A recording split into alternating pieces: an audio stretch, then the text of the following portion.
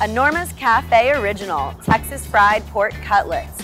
Boneless center cut pork tenderloin, Texas fried and smothered in Norma's mushroom gravy.